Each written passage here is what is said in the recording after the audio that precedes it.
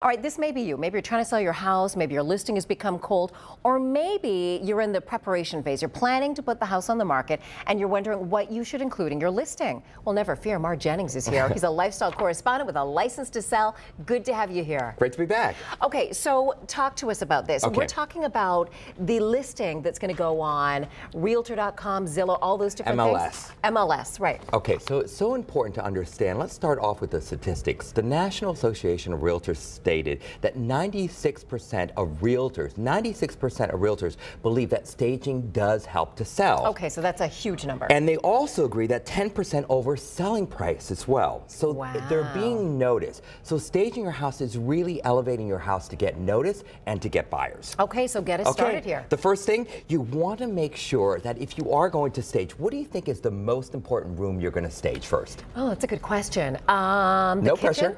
No, actually, Okay. the kitchen's number two. It's your living room. Now, ideally, you want to do the entire house, but if you have just limited budget, Yep. you want to make sure you focus on the living room, the kitchen, followed by the master bedroom. Okay. I would never have guessed that order. All right. And you're also going to want a great lead-in photo as well because Mm-hmm. what you're doing is you're branding the house and you have to be consistent when you brand the house. Okay? Put your best foot forward. Don't put the front of the house that needs a paint job or something like that, right? Correct, Yeah. correct. Good point. You also want to make sure that you do appropriate repairs. Now, when I say repairs, I'm not talking about if your ceiling needs to be repaired or if you need a new roof. Clearly, if you price it correctly, you price it taking that into consideration. Okay.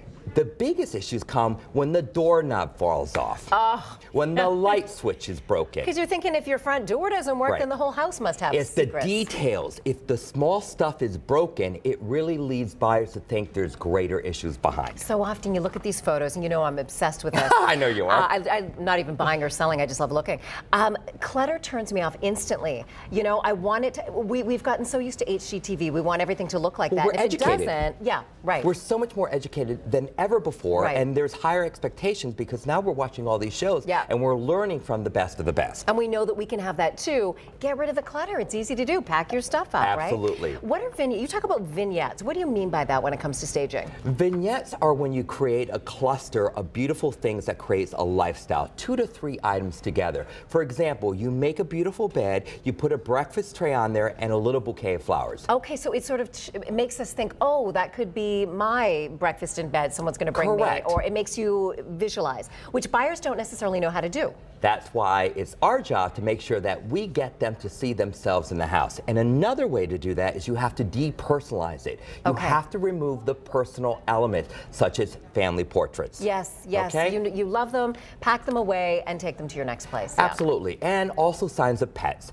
Now, the Yeah. only time you want to promote that you have a pet, okay, and generally it's a dog or a pretty cat bowl, is if you're in a condo or if you're in a place that is questionable whether or not you can have a pet. Then you Oh, the create a little vignette with the dog bowl, the doll basket, and definitely a little toy. And hopefully this will get your ad to stand out from the rest, right? Most definitely. All and right. the last one I just want to mention is that you definitely want to put your best foot forward. So imagine the most important person in your life, your mother-in-law, your husband, someone's coming to visit you Ah, that's mm-hmm. normally not there. What would you do to make a really fantastic impression?